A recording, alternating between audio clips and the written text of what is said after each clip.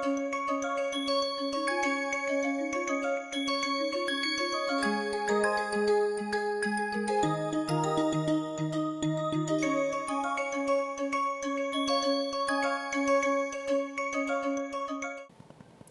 and welcome. In this lecture, as was mentioned in the last lecture, we will introduce the concept of variant of a launch vehicle and look at some of the basic aspects of the process through which we can arrive at a variant configuration which is an extremely useful idea from practical perspective. So let us begin. So the concept of variant is essentially related to a much older design philosophy that has been practiced for many products for a long time called stretching a design. What it means is that once you create a design which is the best possible design from a given mission perspective, then if your objectives get slightly modified, either you go through the whole exercise all over again to get another optimal configuration or you stretch the existing design so that it will meet a slightly modified requirement. The variant is essentially an idea that is connected to this philosophy. So in the context of rocket design, the optimal staging solutions that we have seen in the last couple of lectures provide us with a configuration which is going to give the best possible performance in the context in which it has been configured. And then we find that there are going to be many situations where an optimally designed configuration which is applicable to a specific M star or a pi star or a specific V star needs to be modified for a mission that might require either a marginally different V star or a different M star or pi star.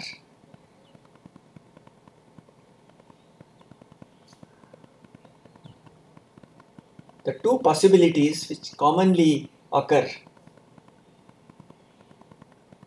are that you might either need a slightly higher burnout velocity so that you might want to perform a different mission with the same payload mass or what is more commonly encountered and practiced is that we may want a slightly higher payload for the same mission and this becomes an extremely desirable perspective as the spacecraft when they undergo development independent of the launch vehicle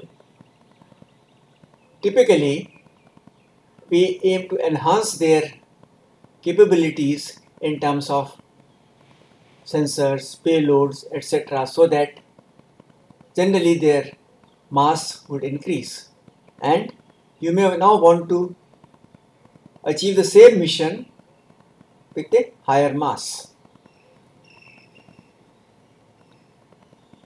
And in the context of variant, instead of designing a new rocket afresh from the scratch, such requirements are addressed by slightly modifying the optimal configuration which is designed for a different V star and M star to ensure that modified configuration will meet the requirement of a different mission and while doing that it also remains optimal in a broad sense.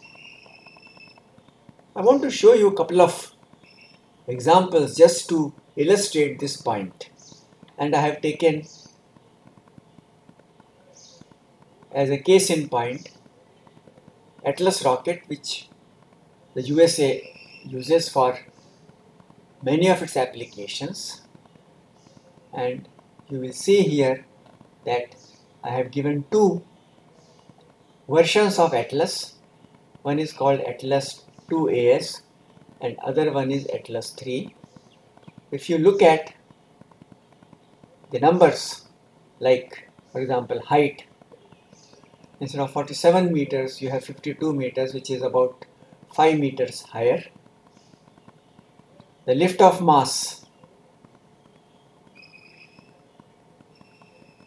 which is 237 tons for Atlas 2AS becomes 220.7 tons for Atlas 3A and 225.4 tons for Atlas 3B. If you look at the thrust at liftoff, Atlas 2AS generates 3 meganewton while Atlas 3 generates 2.6 meganewton. The implication of this table is that both of them are called Atlas. But within the context of the same so-called family of rocket, there are marginal differences in their configuration and it is expected that they will perform different functions. Even though these numbers might look a little larger as percentage of the basic or the base configuration, these are within the range of about 5 to 10 percent which is considered to be small change for the overall rocket. Let us look at what kind of missions these particular variants are expected to perform. So Atlas 2AS is expected to launch a mass of 8618 kg to achieve a 185 kilometer geotransfer orbit while Atlas 3A which uses a slightly smaller lift of mass is expected to perform the same mission with a slightly larger payload of 8640 kg. Atlas 3B in which there is a, about 5 tons extra mass compared to Atlas 3A. We are able to launch almost 2000 kg extra mass for the same mission. So we realize that the variants are essentially slightly modified versions of a base configuration which defines the family which would mean that Atlas as a generic name would have a base configuration and then it would have a number of variants. I would suggest that you look at literature to find out which are other variants of Atlas and what kind of missions they can and are expected to perform. Let us look at one more launch vehicle, the Indian PSLV, and let us look at its variants and what they are expected to achieve. So PSLV has three possible variant configuration all connected to the same base conceptual design. The plain PSLV which is 295 tons. The PSLV CA, CA standing for core alone, so it does not have any zero stage or booster stage. Weighs only 230 tons, so it is about 65 tons lighter, which is about 20% less than the basic PSLV and then you have PSLV XL that is extra large at 320 tons that's about 25 tons extra and about 8% heavier. Let us now look at what kind of applications these three versions of the PSLV are commonly put to use for. So the basic PSLV is designed to launch 1678 kg in 620 km sun synchronous orbit. The PSLV CA does the same job for a significantly lighter payload of about 1100 kg while the PSLV XL does the same job for a significantly higher payload at 1800 kg. You would also be interested in knowing that the same PSLV is also used for a few interplanetary missions that India has flown and I would request you to look at the mission that is expected to be flown along with the mass that is attached to the mission and the version of the PSLV which is used for that specific mission. So this brings us to some discussion on the design strategy. So how does one do this exercise or how does it happen? Typically, a variant is created by modifying or replacing an existing stage in terms of either structure or propellant or its specific impulse. For example, you might still be using the same stage 1 of PSLV It may have the same mass for propellant but you may pack it with a propellant which is having a slightly higher ISP and in the process you would achieve a higher burnout velocity or for the given burnout velocity you might be able to launch a slightly larger payload. Similarly, you could make the structure slightly lighter and because the structure is made slightly lighter you may either pack in a little bit more propellant to keep the stage mass same or you may add a little bit more of payload so that the overall rocket launch mass remains the same but then you can perform a slightly different mission with the same rocket and nothing else changed. In this regard, you must realize that these modifications or replacements are usually a small fraction of the existing stage. The implication is that in order to minimize the impact on other design and operational aspects, we need to keep these changes small if there is a need to make large changes, then anyway it would be better to design a new rocket itself.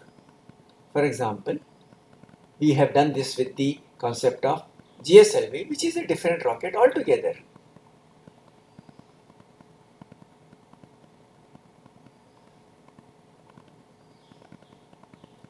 Now, if we accept this idea that the basic configuration that we have designed is an optimal one, then any change that we make is going to make the new solution suboptimal. Now, while if the changes are small, a suboptimal rocket might still be acceptable, but if we can also incorporate some ideas of optimal performance while making these modifications, it would definitely be a desirable objective. And in order to do that, there are two things that are commonly practiced. One, we need to find out among the various stages the ones which are the most efficient in terms of their operation so that a small change in the stage would reap large benefits which means if a stage is such that the performance is very sensitive to small changes then a small change will result in a significant improvement in performance and which in turn means that a small change is what will make a new rocket feasible. Another important practical point which the variant concept brings in is the overall inventory management of the design agency that you don't really need to keep too many different rockets as a whole because sometimes that would also require different fabrication facilities, different infrastructure related requirements, etc. So you may keep a modular configuration and only store the various stages and then depending upon the requirement generate a combination of stages for a specific mission.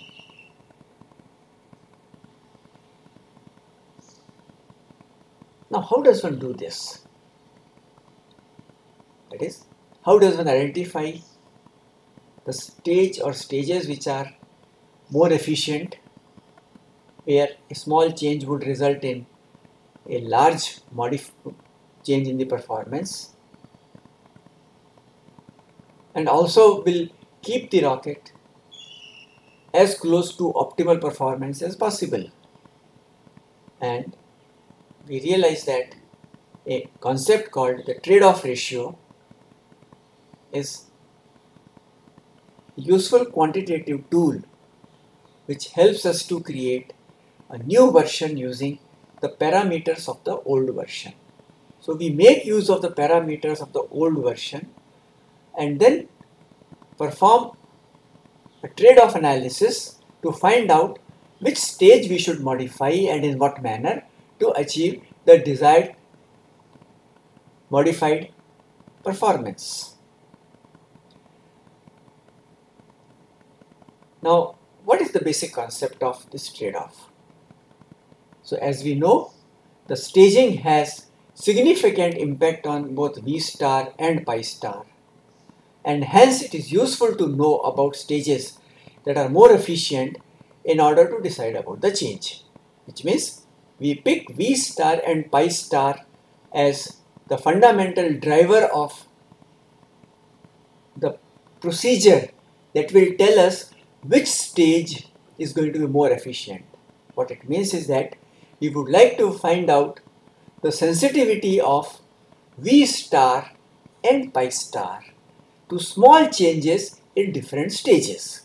Which means if I take for example first stage and change the propellant ISP by a small amount, by what amount my V star or pi star will change.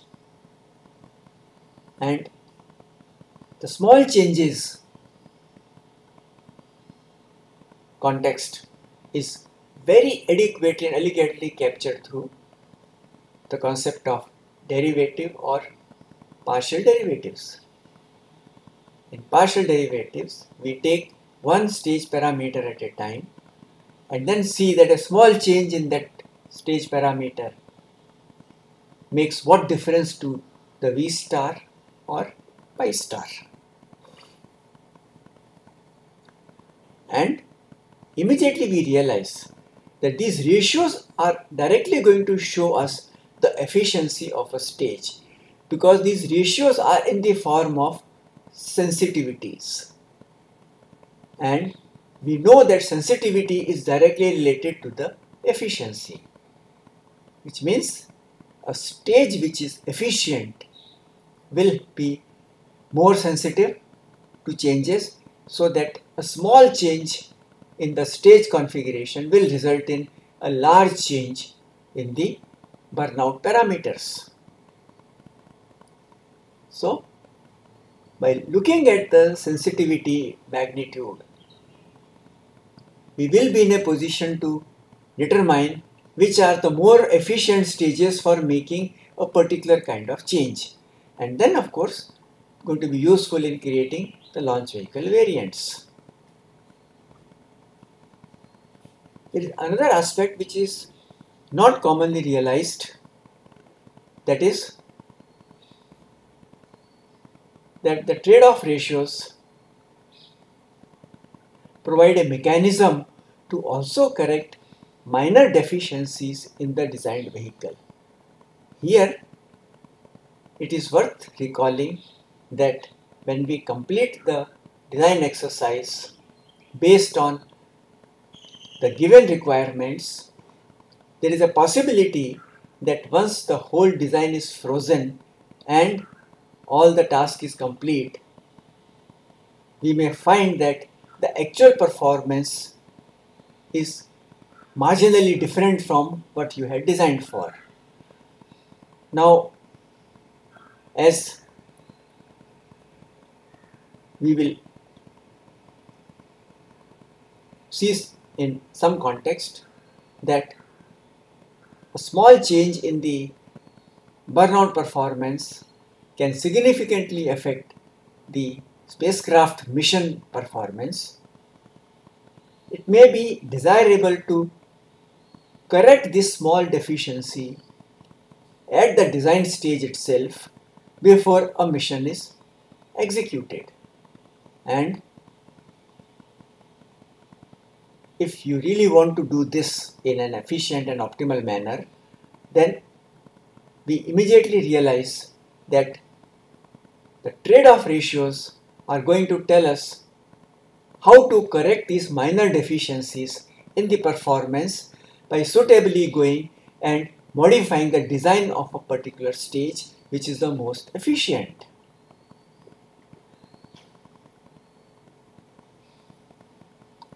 There is another aspect which is an integral part of any design exercise where you want to establish the robustness of the design.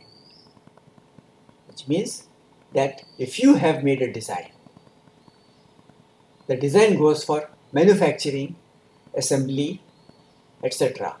And there could be additional minor changes during fabrication the fabrication errors, the tolerances, the assembly issues, etc.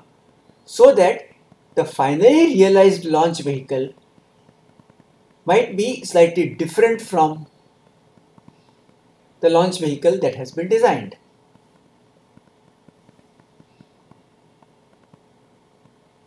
Now, if you know what are the changes which have happened because of manufacturing related issues which anyway cannot be helped, at least you would like to assess how much the performance has changed because of the changes in the fabrication from the designed vehicle.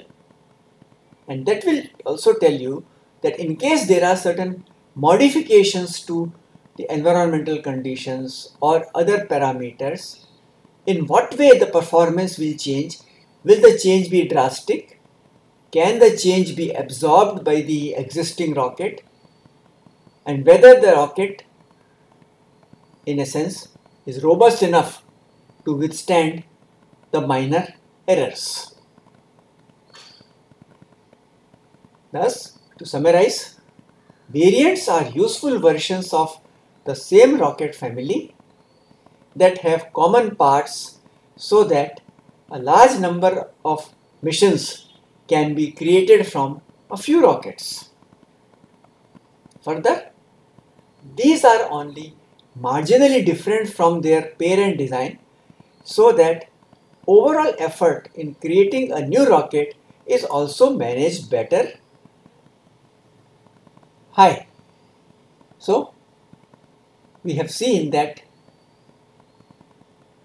the variants are extremely useful